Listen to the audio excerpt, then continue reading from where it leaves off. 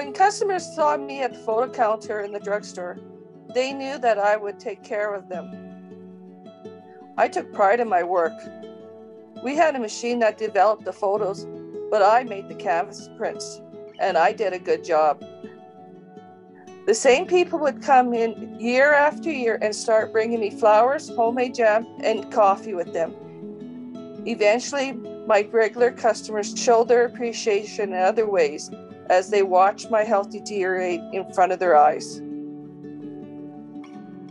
I injured my back badly as a 14 year old and have been in constant pain since that day.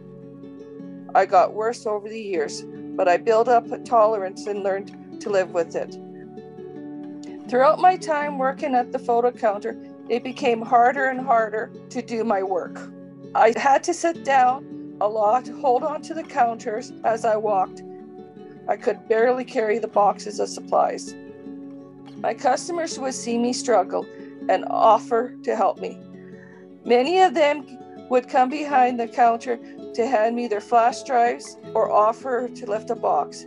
They did what they could to help me because I always provided great customer service.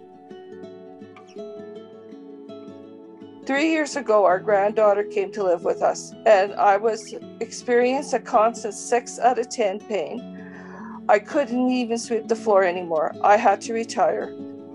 The pain pills I had prescribed were expensive, but working at the drugstore, the discounts and benefits had made it manageable. All that changed overnight with the extra mouth to feed, my husband's own health conditions, and my loss of weight, we really had to tighten our belts. I started rationing my pills to make the prescription last two months instead of one, and we made it. Recently, I had some severe back spasms and I decided to go to the doctor. I can see the suspicion when I told him that my pain was an 8 out of a 10 on the scale. This time I asked, Can I get an MRI for my back to see what's happening?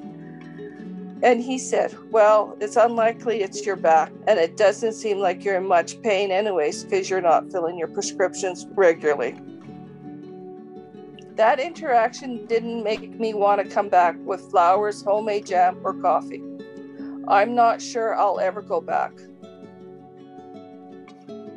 I know what it is like to provide good customer service by appreciating your customers, listening to how they feel, and show that you understand what they need.